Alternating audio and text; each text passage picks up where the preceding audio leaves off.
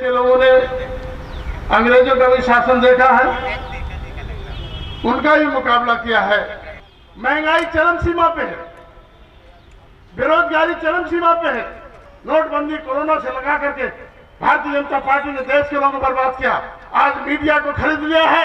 कि इस देश को अगर सबसे ज़्यादा ज़रूरत है तो शिक्षा की ज़रूरत है। जो ज़िंदा दिल और शेर हैं, वो सिर्फ़ यही कहते हैं कि मेरे पास समय है, मेरे पास समय है।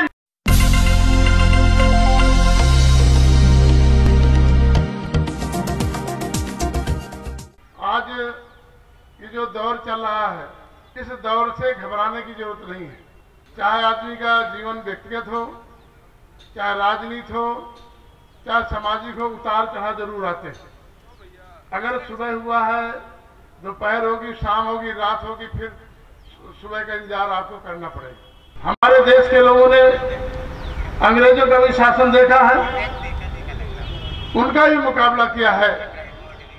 हमारे देश के तमाम स्वतंत्रता संग्राम सेनानियों ने और तमाम नेताओं ने जो भाषण करने जाते थे, डॉक्टर लोहिया जी वगैरह तो स्वयं गाड़ी में माइक लेकर कहते थे कि, साथियों, आप लोग आइए, फला मैदान में पटना गांधी मैदान में आइए और लोहिया जी आ रहे हैं उनके विचार सुनने के लिए स्वयं भी स्वयं जो है अनाउंस करते थे। ऐसा भी दौर रहा है। तो आप जितने भी लोग हैं कम नहीं है और ये विचारधारा इतना तेज़ी से फैल रही है। सब लोग जान रहे हैं लेकिन थोड़ा सा ये लोग जो डरवा रहे हैं उसका ध्यान भटकाने के लिए पता चला कोई बाबा ये मध्य प्रदेश प्रकट हो गए। वो कहते मैं रावण से मैंने बात किया। अरे, जो तुम्हारा पिता जो बाबा खत्म उससे पहले बात कर लो बेटा। फिर तुम क्या रावण से क्या बात करोगे? कपोलपंथी बात करते हो। हमें याद आ गया, एक हमारे बहुजन समाज का एक आईएएस अधिकारी हुआ। गाँव का रहने वाला था, किसान का बेटा था। ट्रेनिंग करके जब गाँव में आया तो गाँव के लोगों ने बड़ी खुशी ज़ाहिर की और उनके पिताजी किसान थे तो उन्होंने लड्डू वगैरह का इंतज़ाम कराया, सबको गाँव वालों को लड्डू वड्डू खिलाया। तो पास के पड़ोस का एक धूर्त जो है पुरोहित था, वो घूमते घामते आ गया। वो भी कहा फलनवा तुम्हारा लड़का कलेक्टर बन रहा सुना है? बहुत अच्छा हुआ। और लड़के लोग चले गए, उनको तमाम पट्टी पढ़ाता रहा। कहा, तुम अब उनके गिरा दशा दिखवाए कि नहीं दिखाए उनके आगे क्या होने वाला है? तो उन्होंने कहा, महाराज ये तो नहीं दिखवाया तो पत्रात्र पलटा। उन्होंने कहा, भाई, ये इनके जो है सन की साढ़े साथी लगी है। अगर मृत्युंजय जाप नहीं कराएँगे तो एक महीने बाद आपका बच्चा खत्म हो जाएगा।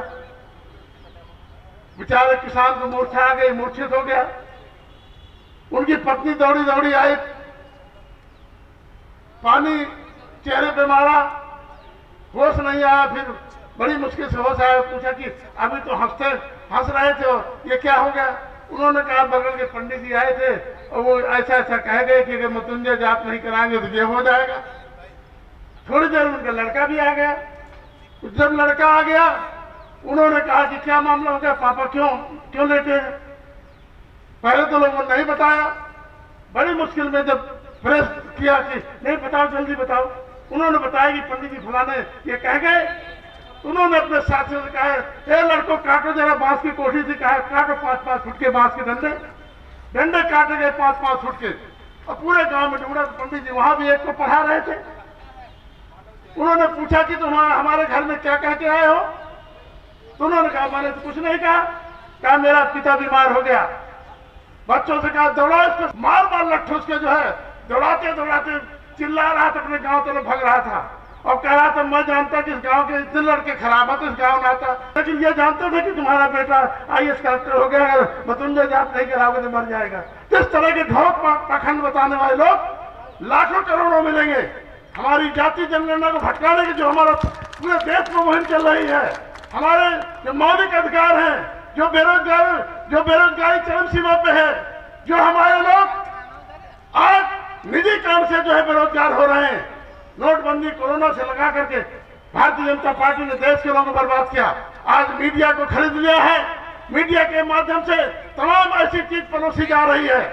ऐसा लगता है कि जितने भारतीय जनता पार्टी में लोग बैठे सब महात्मा है, सन्यासी हैं। अगर दम हो प्रधानमंत्री जी में तो सूची जारी कर दें। नेताओं की, अधिकारियों की, व्यापारियों की पूरे देश में कितने करप्ट लोग हैं?